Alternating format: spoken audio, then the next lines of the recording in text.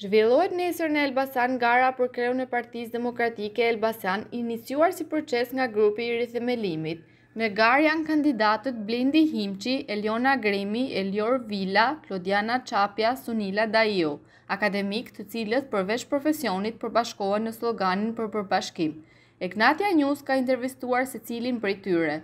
Ja çfarë thonë ata për garën që do të zhvillohet nesër dhe përgjigja për të ndryshmit e tyre mbështetës të Bashës. Do t'i uroja të gjithë kandidatëve që u bënë pjesë e kësaj gare që janë figura të nderuara të qytetit, po pse jo dhe të Partisë Demokratike, të cilët kandidojnë në datën 16 prill për kandidat për kryetar dege të Partisë Demokratike të degës Elbasan, gjykoj që ky proces do të jetë totalisht transparent, ku ju do ta monitoroni vetë qoftë pjesëmarrjen, po qoftë edhe mënyrën se si do zhvillohen këto zgjedhje.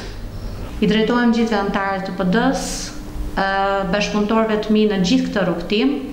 Unë i kam takuar ato, kam patur mundësi të flas me to, por gjithsesi do doja të kishim një reflektim për bashkim ditën e shtunë dhe t'i tregojmë qytetit të Elbasanit që ne jemi bashkë dhe jemi gati për fitoren e vitit tjetër. Unë mendoj se kohët e fundit është bërë një punë shumë e mirë në riorganizimin e strukturave të degës së PD-së Elbasan. me një ftesë bashkëpunimi të të gjithë antarëve të PD-së pa dallim mendimi.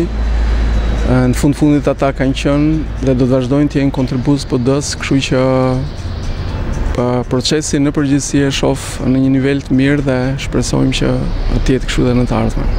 Antarët e thjeshtë të partisë të cilët në çdo moment na kanë mbështetur, vazhdojnë na mbështesin pa kompromis dhe nuk e kursejnë asnjëherë kontributin e tyre. Falë atyre sot unë jam këtu ku jam dhe dua që t'i përfaqësoj.